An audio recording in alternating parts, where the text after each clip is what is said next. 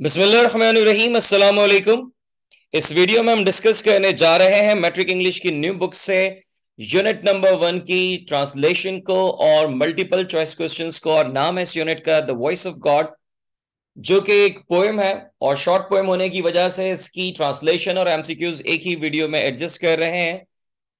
और इस वीडियो के साथ हम आगाज़ कर रहे हैं मैट्रिक इंग्लिश की न्यू बुक के तमाम यूनिट्स की ट्रांसलेशन का उनके मल्टीपल चॉइस क्वेश्चंस का और उनके शॉर्ट आंसर क्वेश्चंस का।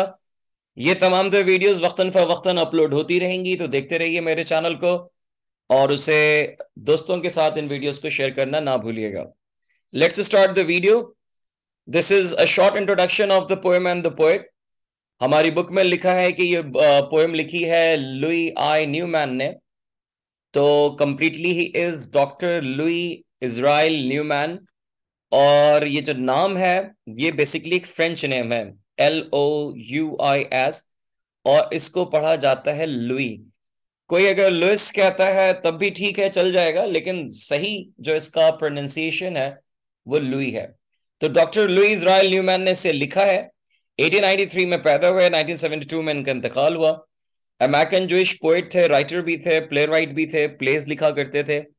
और इस पोएम के थ्रू उन्होंने एक यूनिवर्सल मैसेज जो है कन्वे किया है which is basically a religious message और वो है ह्यूमैनिटी यानी कि मज़हब में अगर आप अपने मज़हब को फॉलो कर रहे हैं विदाउट ह्यूमैनिटी तो it will take you no खुदा की कुर्बत चाहिए तो खलके खुदा से मोहब्बत करना पड़ेगी.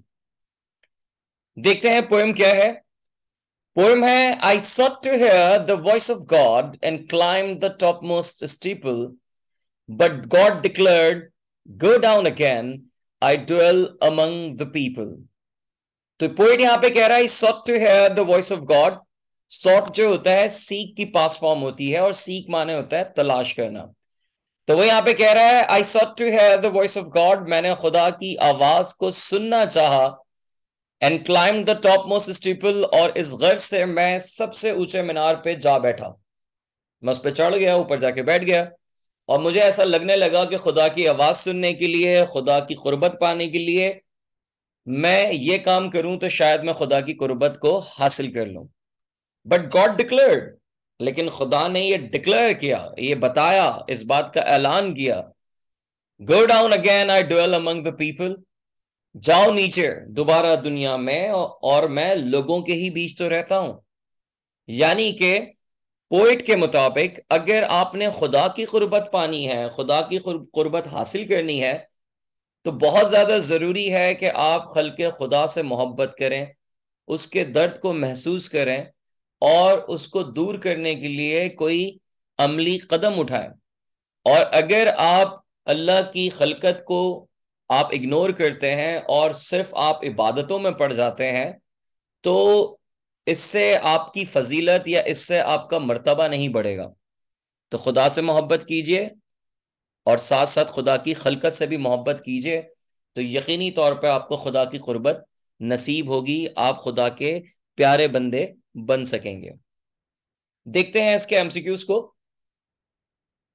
और ये सब, सबसे इंपॉर्टेंट बात आप अपनी स्क्रीन पे देख रहे हैं इस वक्त। ये करना ना भूलें। Let's solve the MCQs.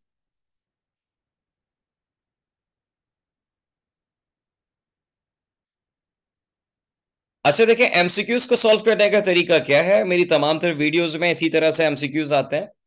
और आप पहले इसको पॉज करके अपने आंसर्स लिख लें। नोटबुक में सिर्फ़ आंसर्स लिखें। नंबर वन नंबर वन का जवाब क्या है? लुई न्यूमैन तो वन का आंसर ए लिख लें। बस इतना काफ़ी है। पॉज करके। इससे क्या होगा? आपकी प्रैक्टिस भी हो जाएगी। और फिर जब आप वीडियो को रिज्यूम करेंगे तो आपको इसके आंसर्स मिल जाएँगे।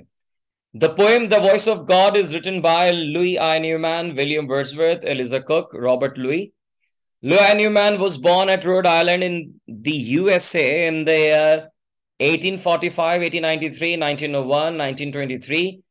Louis Newman died in the year 1946, 1965, 1972, 1985. Louis Newman wrote the poem The Voice of God. He was A or N British poet, Russian poet, French poet, American poet. By profession, Louis Newman was a lawyer, physician, singer, lecturer. Pause the video write down your answers resume करें और अपने answers को check कर लें here are the right answers one का answer है Louis Newman second का जवाब है 1893 थर्ड का जवाब है 1972 और फोर्थ का आंसर है American poet the fifth answer is lecturer MCQ number six, according to his bent of mind, Louis I. Newman was deeply atheistic, religious, idealistic, imperialistic. The poem The Voice of God and its composition is deeply romantic, historical, political, religious. The poet in the poem The Voice of God sought to hear the song of birds, sound, sound of thunderstorm, voice of God, voice of angel, in the poem, The Voice of God, the poet climbed for hearing the voice of God.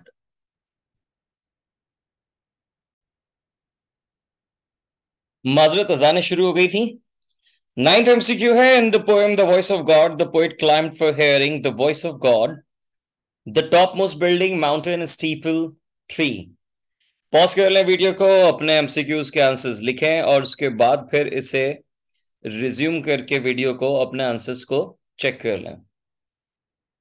Here are the right answers six का जवाब है religious seven का answer है religious poem number sorry MCQ number eight का जवाब है the voice of God और nine का जवाब है सीपल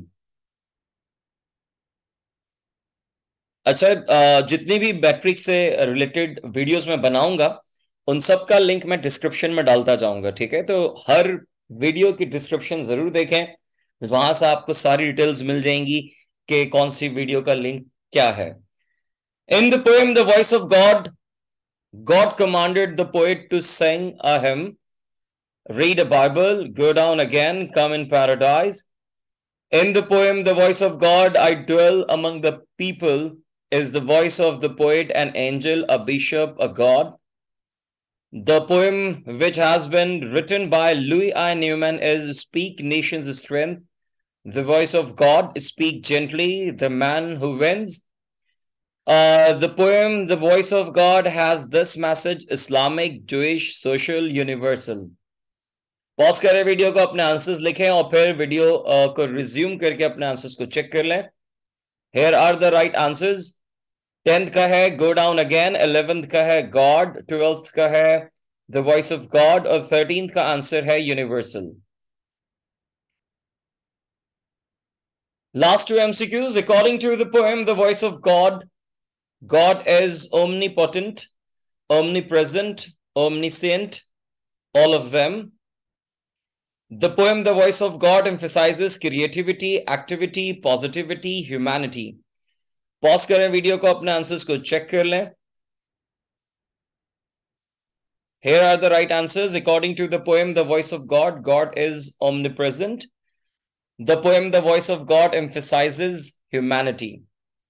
Hopefully कि ये वीडियो आपके लिए बहुत इंटरेस्टिंग और हेल्पफुल रही होगी इसे दोस्तों के साथ शेयर करना ना भूलिएगा और चैनल को सब्सक्राइब ज़रूर कीजिएगा देखते रहिए मेरा channel and you will be getting more videos here regarding your new book next video तक के लिए अपना ख्याल रखिए, मुझे दुआ में याद रखिएगा। असलकुम अल्लाह हाफिज।